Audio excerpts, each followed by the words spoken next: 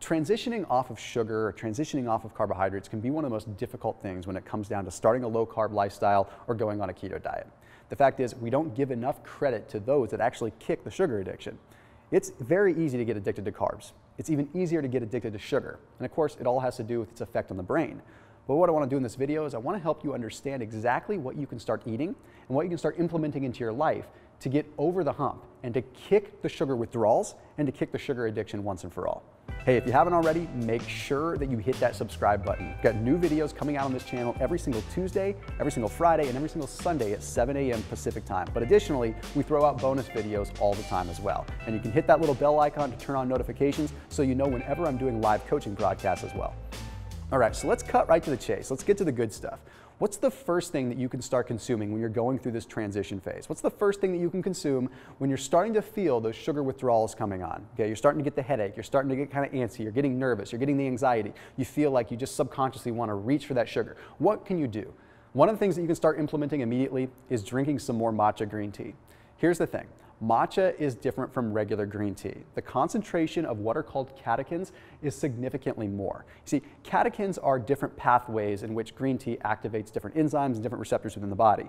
But when we're talking about matcha, there's one particular catechin that stands out, and it's one that you've probably heard of before. It's called EGCG, also known as epigallocatechin 3 gallate. Okay, EGCG has some pretty profound effects on the body through multiple different pathways, but the one I want to reference here is its effect on what is called CCK okay, also known as cholecystokinin.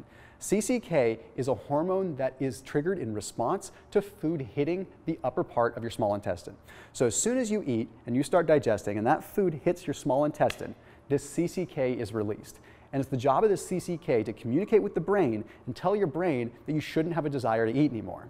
Okay, you, maybe you've heard of ghrelin before. Ghrelin is another hunger hormone, but that's a little bit of a different ballgame. Honestly, CCK completely blows ghrelin out of the water when it comes down to its effect on the brain. So matcha green tea has been shown to increase levels of CCK quite significantly, making it so that even without consuming food, you get that same satiation response. What's really intriguing is that there are studies that show that subjects that are literally injected with CCK halt their eating at that very moment. So a subject could literally be eating a meal and then is injected with CCK and will just stop eating. It's like the desire to eat is just completely gone. It's not a feeling of fullness. It's not really a feeling of like bloated, like I'm full, I don't want to eat anymore, like ghrelin. It's more of just a psychological thing, like I have zero desire to eat anymore. So since matcha can improve CCK levels, it's honestly a no-brainer. Now, additionally, the epigallocatechin 3 gallate has a profound effect on norepinephrine levels. Norepinephrine levels are going to make it so that you really just don't have a desire to eat. Okay, you think about the fight or flight response. If you're nervous or if you're running or if you're scared, you're not going to want to eat, right? It's because your epinephrine and norepinephrine levels are elevated. So if matcha can do that just through simple consumption, heck, that's the way to go. Okay, the next thing that I want to talk about is a really interesting thing, and there's some new science that's starting to support this, and that's utilizing the right combination of fats and the right combination of fiber.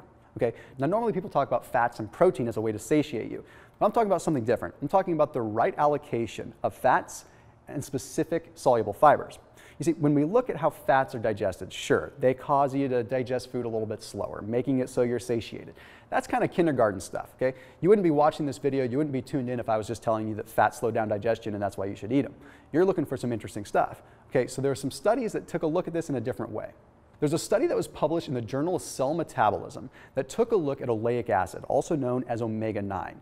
So it's found that these specific omega 9s convert into oleoyl ethanolamide, also known as OEA.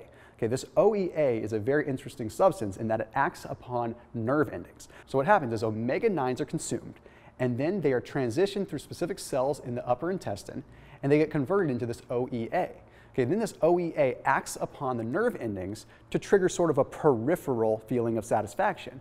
Now, what I mean by that is we're not having a feeling of satisfaction that's triggered back to the brain. We're literally having like this ancillary response that's making it so we don't really want to eat anymore, and it's occurring at the small intestine level.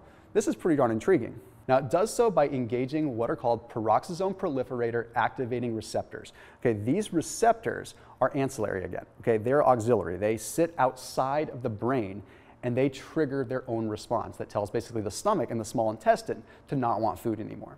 So you combine that with actually being satiated because the higher fat content triggering also the cholecystokinin, you have a double whammy effect on the brain, therefore making it so the brain doesn't want to eat, nor does the small intestine slash stomach.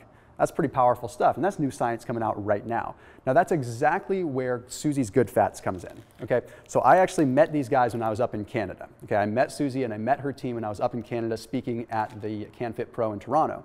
The interesting thing is I ate one of these bars when I was there, and I'm like, okay, that was insanely good. And I also found that I was like ridiculously satiated for like three hours after the fact. So I went back the next day and I asked them what was up. I asked them what was going on, what their mission was, and why I was so satiated, why I felt so full.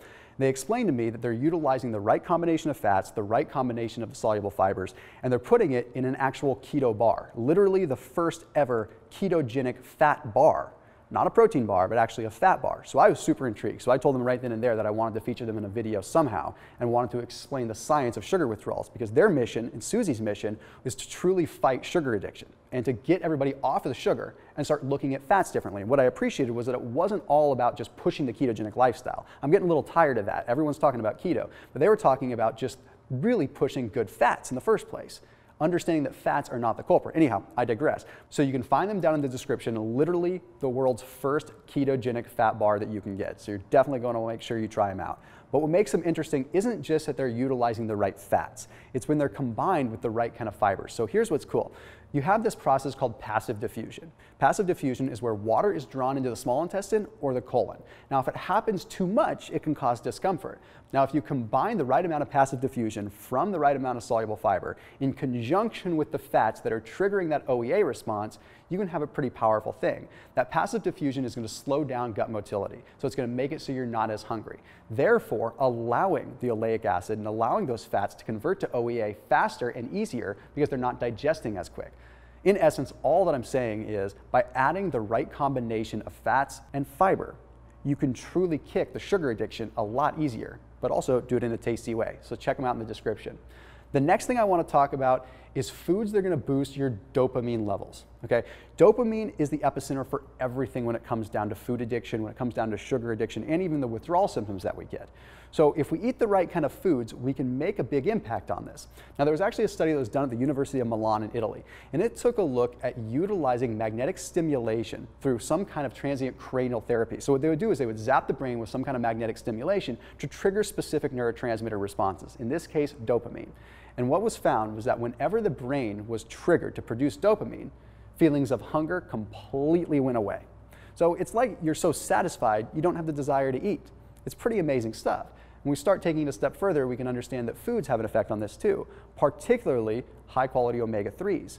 So that ends up looking at foods like sardines and salmon. Now, in particular, I'm a fan of sardines just because there's such a nice fat to protein ratio. Now, studies have shown that when you introduce omega 3s at a high amount into the diet, you have an increase of dopamine of 40%, meaning that you're not going to have those cravings. You're not going to have that subconscious desire to run right into the pantry and grab something sweet because you've already satisfied that dopamine itch.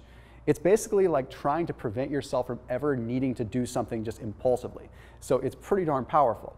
Now, the other foods that you can consume are things like fava beans. Okay, fava beans bypass something altogether. Fava beans actually contain L-DOPA, literally. Now, L-DOPA is the precursor to the neurotransmitter dopamine. If we don't have L-DOPA, we don't produce dopamine. So if we don't have L-DOPA, we never get that sensation or that reward that we're actually looking for. So fava beans, although you have to consume them in small amounts because they still have carbohydrates, can elicit a very profound effect. So you combine these three by consuming some matcha, consuming some fava beans, a little bit of sardines, and then topping it off with a Suzie's Good Fats bar when you're on the road, you're gonna have no problem combating that sugar addiction and getting into that low carb lifestyle that you're trying to get into.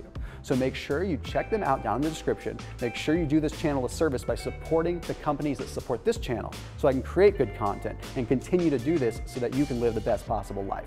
I'll see you in the next video.